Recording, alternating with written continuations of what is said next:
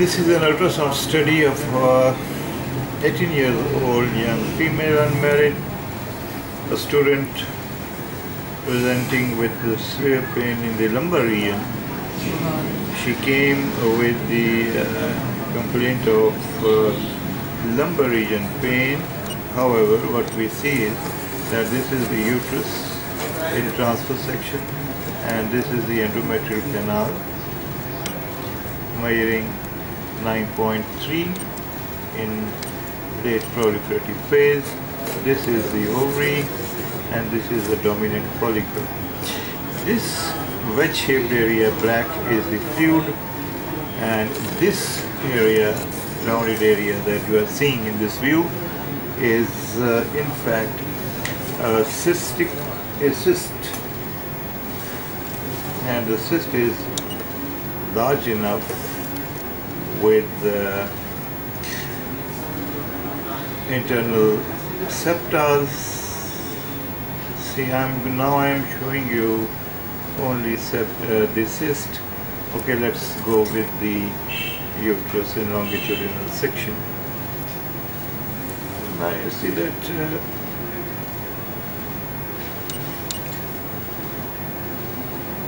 here you are seeing the uterus in longitudinal section.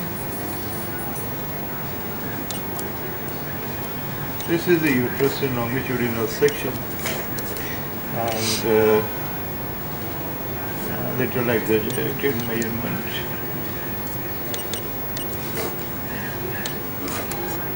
Uh, 7.0, 3.7 and there are two cystic components seen in the pelvic region. One is this one, second is this one. Now this is the urinary bladder, C is shape, and this is the cyst. And you can see dependent region echoes in it. Another uh, tip is that you ask the patient to micturate and you will see which one will be the urinary bladder will disappear. So this will disappear and this will remain. You can see the posterior wall enhancement, a strong back wall, uh, the, and this extends. Oh, and you can see internal septas, multiple XY, complete, incomplete, thick and thin. All type of septas are seen along with its posterior wall, lateral wall, and it extends up to approximately little below the epigastric region. However, if we try to get its uh, calculated volume, uh, then the volume is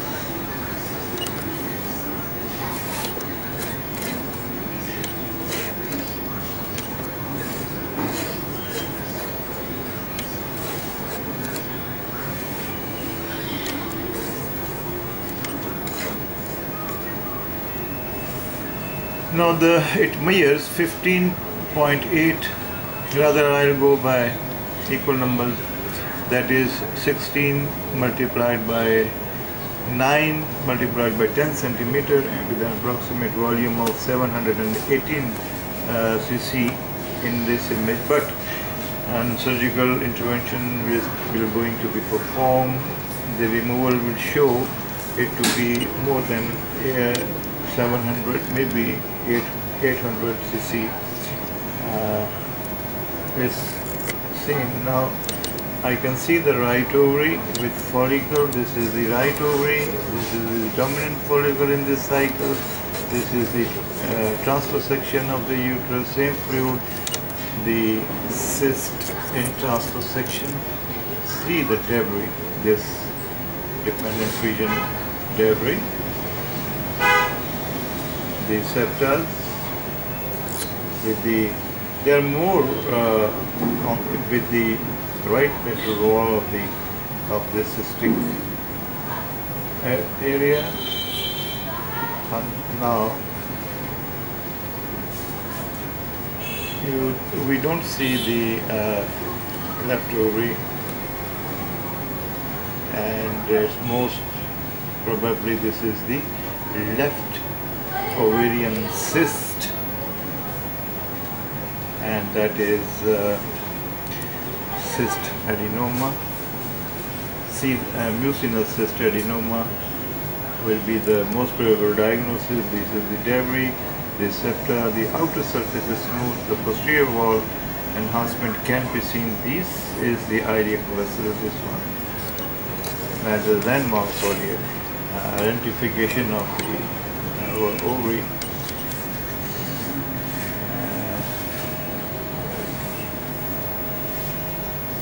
and uh, it expands in the midline here up to the umbilicus and uh, then